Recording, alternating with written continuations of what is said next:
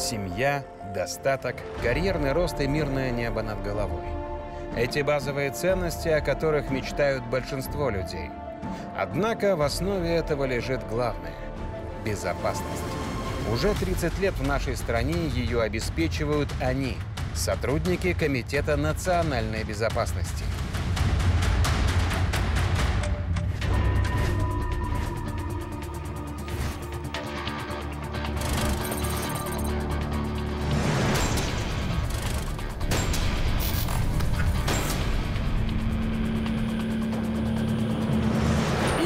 с этого указа президента страны в 1992 году начинается история отечественной спецслужбы – Комитета национальной безопасности. В канун своего 30-летия в юбилейной книге КНБ впервые раскрывает подробности операций, которые долгое время хранились в архивах под грифом «Секретно». Их герои – рядовые оперативники. Именно благодаря их мужеству, героизму и преданности присяге предотвращены десятки террористических актов, пресечены подрывные акции зарубежных спецслужб и транснациональных ОПГ. Сегодня мы покажем некоторые из этих уникальных операций.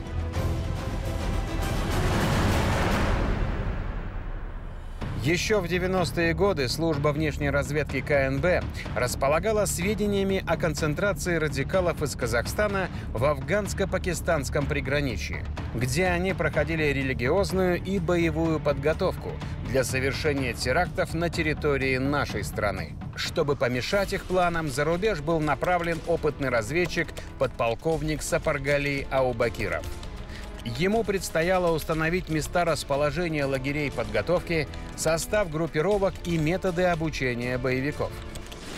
И в эту зону э, перебрались как раз террористические организации, объединенная таджикская оппозиция, да, исламское движение Узбекистан и исламская партия Восточного Туркестана.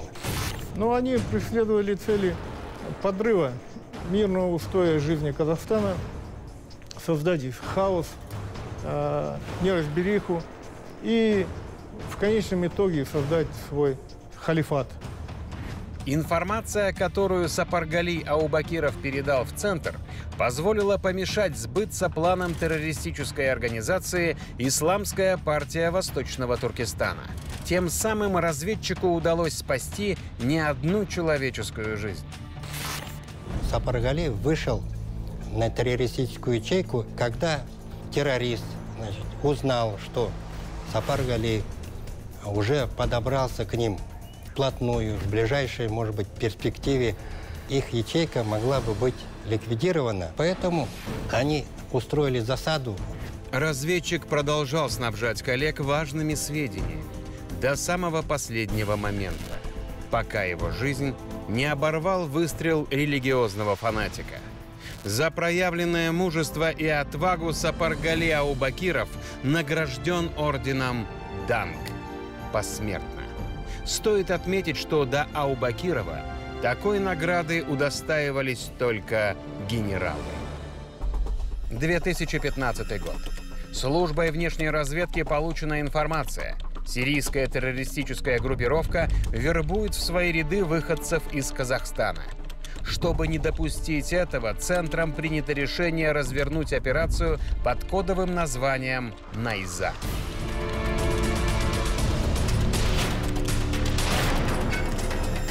В Сирию направлены два опытных спецагента – Кахарман и Сункар. Их задача – сбор информации о планах террористов, а также внутренней иерархии организации. Оперативники понимали, что эта операция для них может стать билетом в один конец. Уже по ходу, так скажем, процесса разработки а, оперативная ситуация развернулась в нашу пользу. Мы практически полностью контролировали действия лидеров группировки. Находясь в лагере террористов, спецагенты по согласованию с Центром разработали дерзкий план по задержанию лидера террористической группировки. В так называемой мертвой зоне, когда и он не ожидал захвата, и рядовые боевики не могли контролировать действия своего лидера, был осуществлен захват. Группа захвата в считанные секунды скрутила боевика. Позднее спецбортом он был вывезен в Казахстан. Вся операция была проведена без единого выстрела, что является показателем профессионализма для любой разведки мира. Лишившись главаря, террористическая группировка прекратила свое существование. Служба специального назначения А – боевая элита Комитета национальной безопасности. Спецназовцев привлекают для проведения самых опасных операций. Однако под бронежилетом и шлемом находятся обычные парни, которые также любят, растят детей и строят планы. Но в любой момент они готовы без раздумий пожертвовать собственной жизнью, чтобы спасти других. Роман Долгов и Тахир Алпысов были как раз одними из таких героев. Их жизни прервались в 2011 году в поселке Боралдай Алма-Атинской области. За несколько дней до этого в Алма-Аты неизвестные расстреляли двух патрульных полицейских. Оказалось, что двойное убийство – дело рук группировки Акжана Хасена. Вместе со своими поддельниками он планировал серию терактов в южной столице. Оперативникам удалось выйти на след преступников. 3 декабря в поселок Буралдай, где скрывались экстремисты, выехал спецназ. Бойцам поставили задачу – силовой захват преступников. Внимание, группа, вперед, вперед! Первым заходил Тахир. Он получил сразу ранение плеча, упал вперед. Следующим за ним Романом образовалось пространство. Теперь Роман оказался первым, открыл огонь, вызвав на себя. Раненый Тахир видел террористов, крикнул «Вижу троих с автоматами». Я спустилась со своей комнаты, и в холле я увидела, наверное, человек 30 или 40 ребят,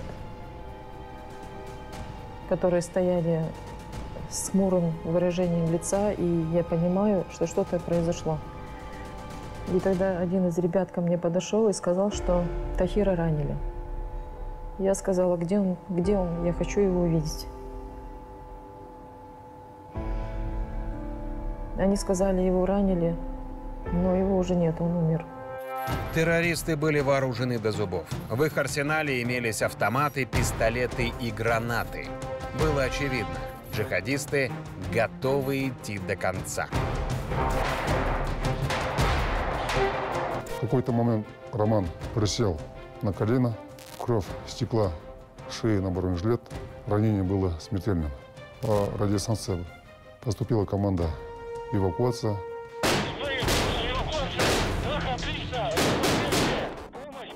Сразу после случившегося оперштабом принято решение о ликвидации преступников. Группа провела штурм с применением газа, гранатометов. И все пять преступников были уничтожены. Внимание, выстрел! Сколько еще людей могло пострадать и погибнуть от рук террористов, остается только догадываться. К счастью, их удалось остановить. Правда, за это спецназовцам пришлось заплатить слишком высокую цену. За проявленный героизм и мужество Роман и Тахир посмертно награждены орденом Айбел. Еще одна операция службы А становится продолжением борьбы с террористическими ячейками, желающим в начале прошлого десятилетия посеять смуту и страх в стране. 2012 год. В Актобе неизвестные ранят таксиста, а следом убивают полицейского. Их задержание поручено сотрудникам службы А. Обстановка в городе была очень накаленная. Э, Чувствовалось вот это напряжение э, и вот эта вот аура тяжелая. Поступила информация от местных жителей, что преступники забаррикадировались в СТО.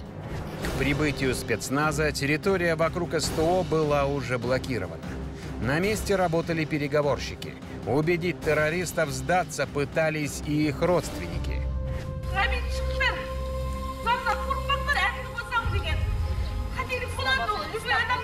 Қателік қорықпаңдар Что мне запомнилось, э, э, когда переговоры вела мать, ее сын кричал, ты ведьма, ты не моя мать, ты, ты работаешь на каферов. Вот такие слова говорила. После того, как на террористов не подействовали даже уговоры их родителей, спецназовцы приняли решение действовать. Позднее окажется, что решение позволило сохранить не одну человеческую жизнь. Применив специальные средства, мы узнали, что они готовились э, к подрыву данного СТО. К месту привлекли э, газовые баллоны, кислородные баллоны, мастерили из подручных средств э, взрывное устройство.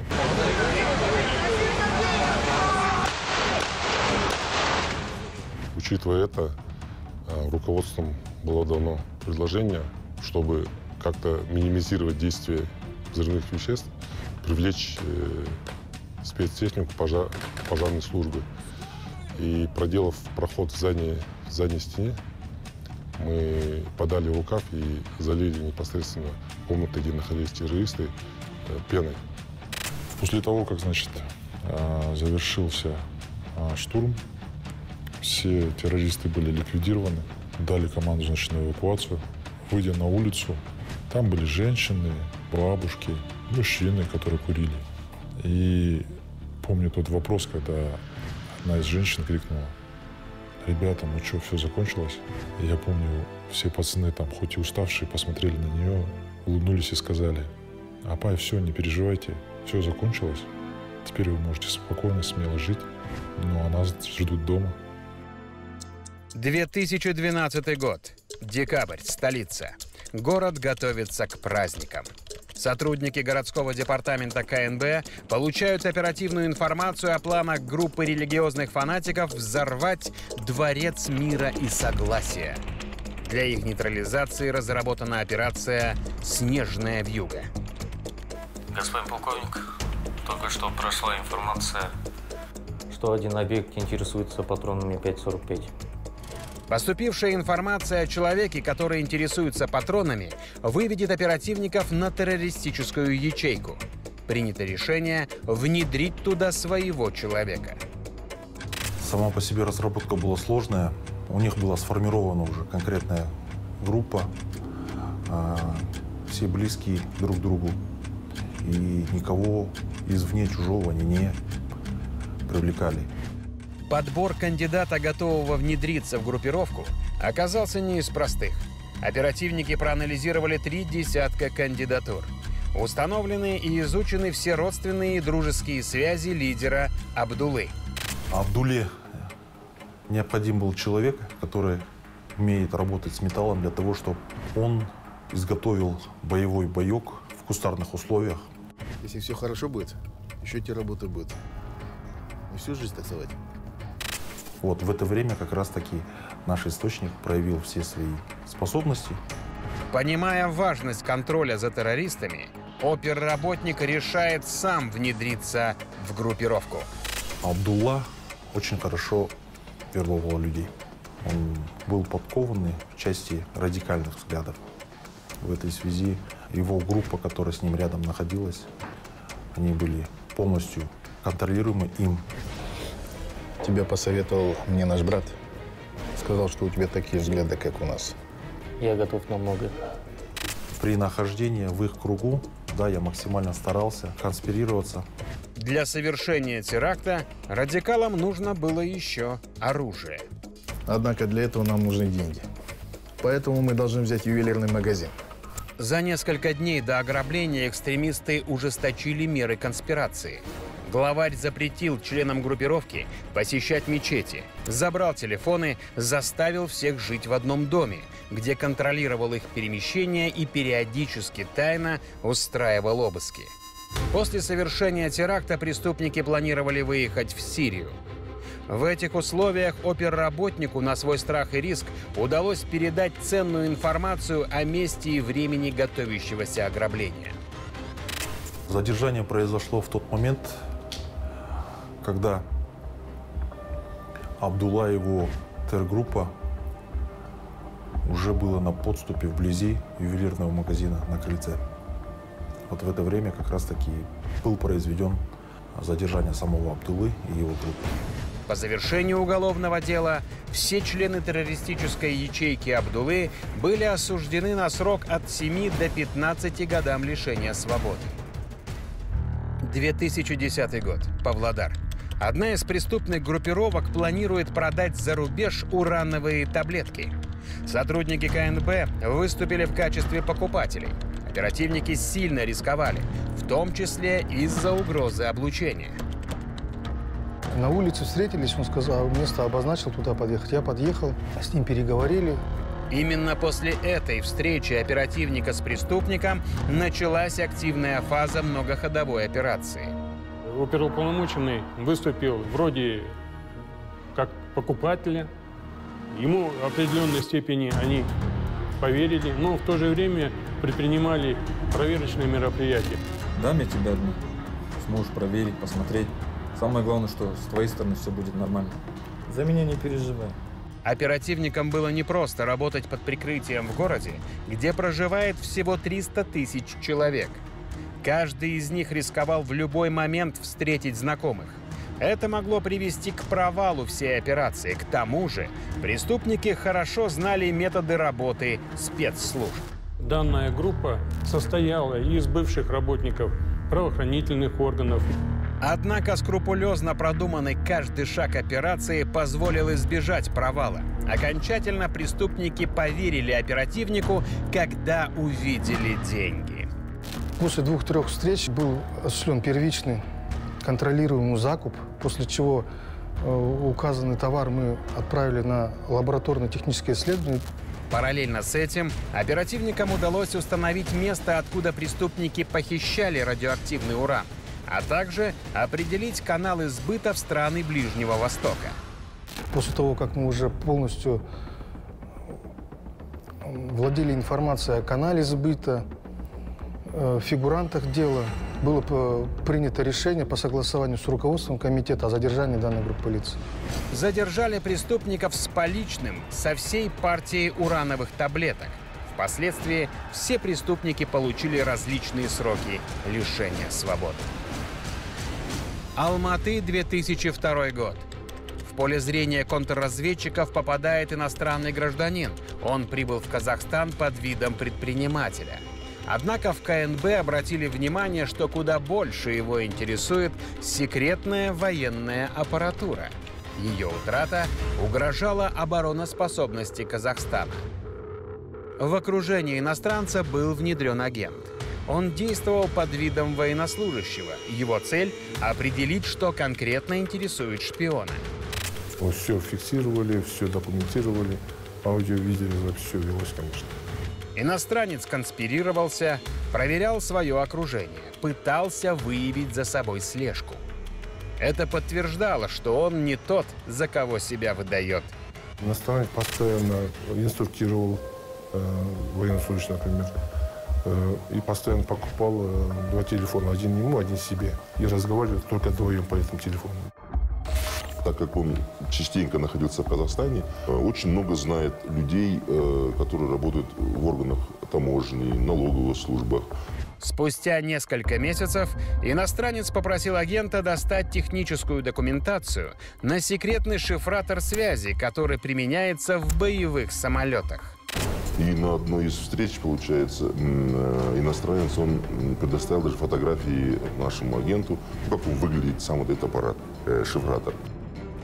Для задержания объекта с поличным было принято решение передать копию секретных документов.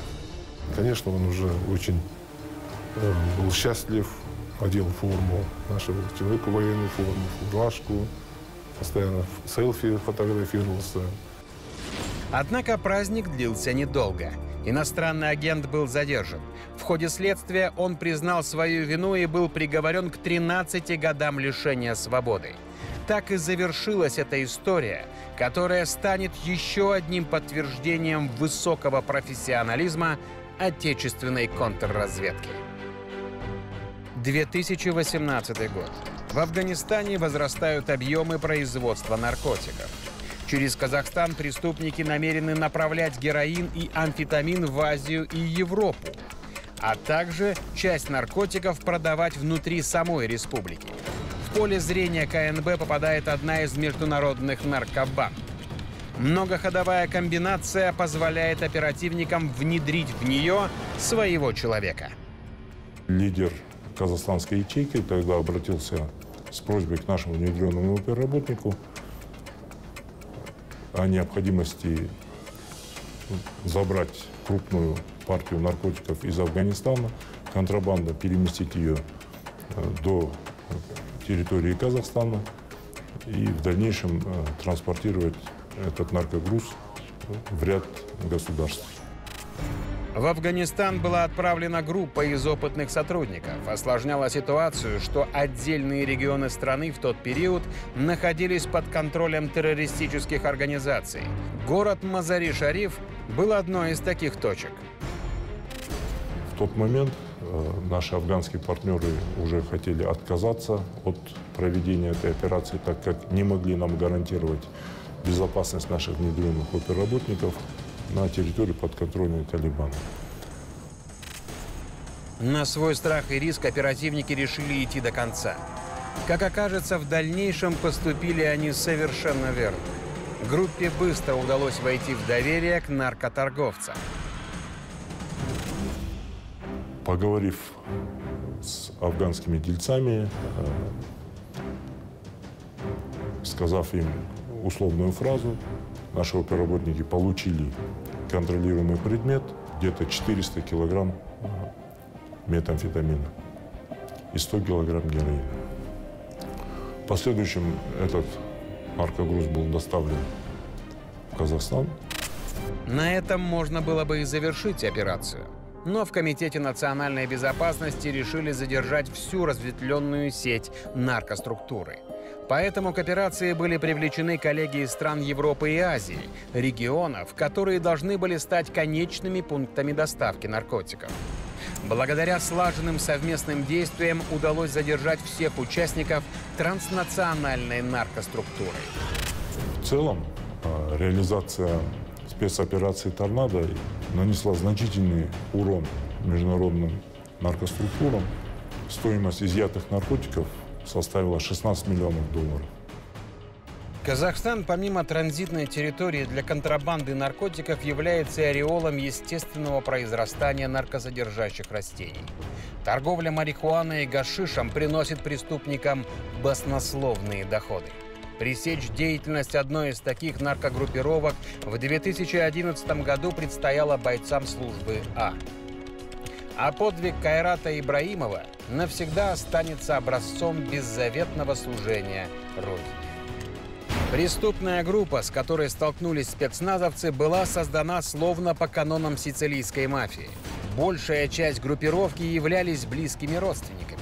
Вместе с поддельниками им удалось наладить канал сбыта наркотиков из Чуйской долины в Россию. Э, поступил сигнал от начальника собраться всем в актовом зале. Нам довели э, оперативную обстановку, что преступная группа планирует переправить через территорию Казахстана Э, в Российскую Федерацию крупную партию наркотических средств. Информация о преступниках была противоречивая. Ясно было только одно – они вооружены и опасны.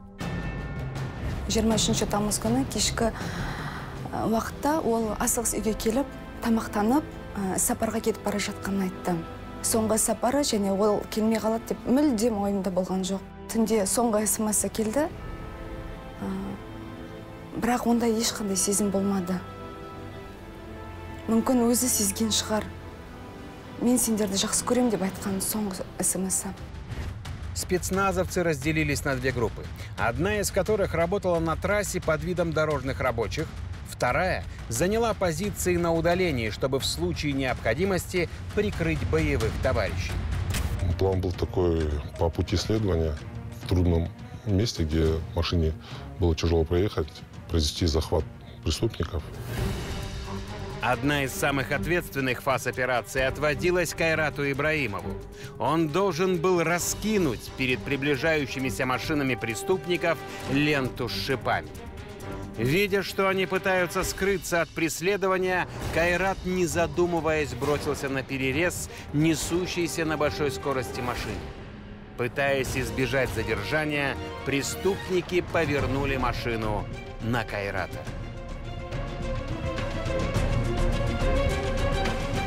После задержания в автомобилях преступников оперативники обнаружили около тонны марихуаны. Участники наркобанды получили сроки от 16 до 25 лет лишения свободы. мен үшін барлығы кеше ғана болғандай бірақ 10 жылдан астам уақыт өтіп кетті ол мәңгі біздің жүрегімізде біз оны ешқашан ұмытпаймыз ол біз үшін батыр и таких операций в послужном списке сотрудников Комитета национальной безопасности не один десяток. В нашем фильме мы показали лишь несколько из них. Нет сомнений, что эти люди придут на помощь в самую трудную минуту. Один из последних примеров этому – операция «Жусан», которая получила широкий резонанс в мировой общественности. Она стала еще одним подтверждением высокого профессионализма и готовности сотрудников отечественной спецслужбы решать поставленные задачи в любой точке мира. К сожалению, некоторым из них за достижение этой цели пришлось заплатить слишком высокую цену.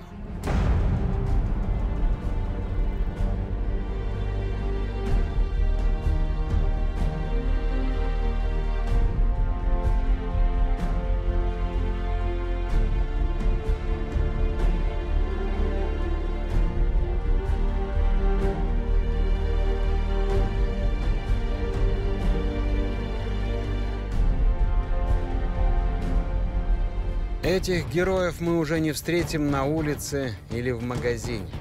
Мы не знали, что все это время они были рядом, прикрывали от бандитов, защищали от смертников, позволяя нашей жизни идти привычным чередом. И пока мы восхищаемся синевой чистого неба, на смену погибшим приходят другие. Те, кто продолжают спасать чужие жизни, снова рискуя своей. Сотрудники Комитета национальной безопасности. Те, кто точно знает цену покоя. Вот уже 30